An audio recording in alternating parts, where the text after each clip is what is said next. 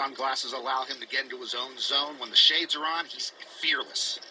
Come Jarvis going for it all, all in for just over 14 million. And that brings his dad, Norm Jarvis, to his feet. Jarvis has about 23 big blinds left. Candio in the small blind with 8-6 off. He will not play that. Jason Senti now with the short stack, Queen Jack. And he folds. So the race back to Duhamel. No thank you. What score is that? It's for more than half of Mizrachi's stack.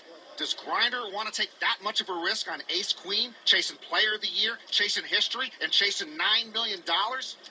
A critical moment for Mizrachi, who needs almost 13 million to call. I call.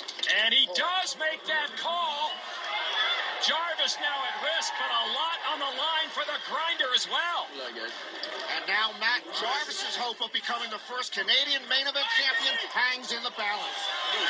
Matt Jarvis ahead right now. His family hoping he can extend his main event stay. Jarvis at risk. Now here's the flop. Queen A Queen. Mizrachi flops trip Queens. And Grinder shoves Matt Jarvis towards the exit.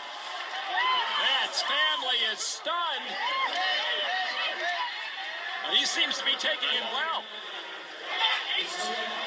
All right, the turn card. Oh, there's the nine. Nine skull for Jarvis. What a turn of events! Oh, my goodness. Where else but the main event can you find such a wave of changing emotion? Grinder now on the verge of becoming the short stack. Matt Jarvis all but gone. Looks like he's going to stick around. Norm Jarvis hoping Matt can fade disaster on the river. Small card. Such a world, such a final table sweat. Grinder would need an Small ace, card. queen, or eight to knock out Matt Jarvis. It's an ace. Oh, mama! No way. It's not possible, is it?